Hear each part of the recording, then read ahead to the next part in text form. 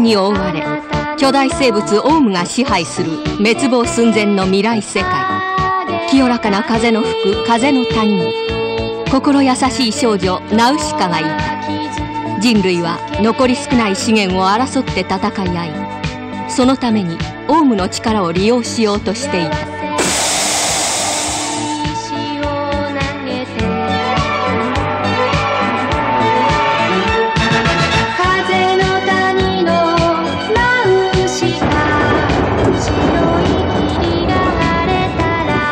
オウムを怒らせないで。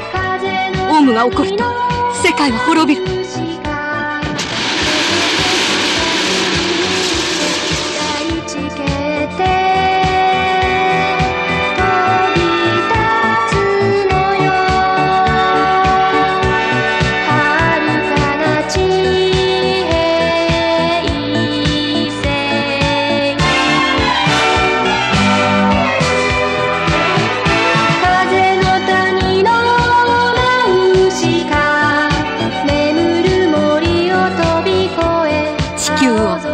自然を生き物全てを慈しむナウシカの愛と勇気が燃え上がる。